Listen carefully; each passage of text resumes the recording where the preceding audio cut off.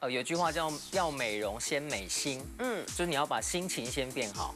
对，所以如果你今天是譬如说像刚刚句句讲，压力很大啊，心情很糟啊，或者是工作很紧张啊，其实就有可能会导致我们的就是皮肤的吸收效果会不好。嗯，对，所以其实我会建议句句应该是要先做一些舒缓的动作，就是解压的事情。哦，喝酒。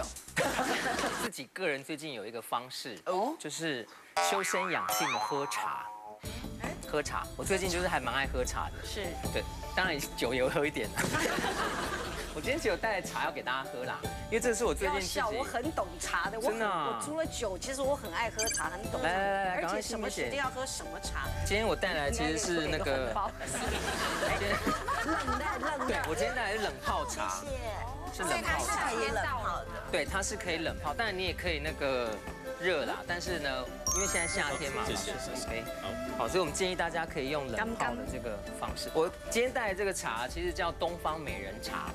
大家有听过吗？有啊，应该有听过吗？其实东方美人茶就是白毫乌龙，所以喝茶对皮肤好哦。当然，因为它第一个它是可以帮你舒压嘛，因为里面有茶多酚啊，还有这个儿茶素。而且重点是我们今天喝的这个东方美人茶，它其实非常的珍贵。这个新梅姐应该知道，它可以算是台湾高级茶中的高级茶哦。对，就是茶中之茶。是对，因为它其实采摘非常不容易，就是它一年只能够收获一次而已。而且这个茶呢，在它生长的过程，必须被一种虫子咬过，叫做小绿蝉，就是一种昆虫。然后那个昆虫咬这个芽，就是那个绿茶，就是那个茶叶的芽的时候啊，它那个唾液跟那个茶的酵素就会起一些化学反应，然后就导致这个茶呢里面的儿茶素跟茶多酚含量就会变多。那为什么一定要喝冷的？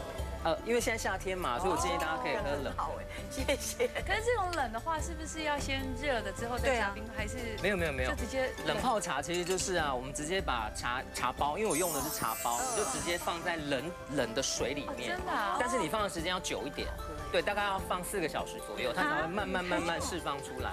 所以像我自己的习惯就是，譬如说，呃，睡觉前我先把那个茶包丢到水里，然后放在冰箱，隔天早上。呃，起床出门的前，我就把茶包拿掉，然后那个就是一个冷泡茶。哦，冷泡茶它的优点呢是在于，因为它是用冷水冲泡嘛，所以它第一个释放出来其实是氨基酸因子，所以你为什么喝起来会比较甜？对对对，所以它是冷泡茶的特点，它比较清甜。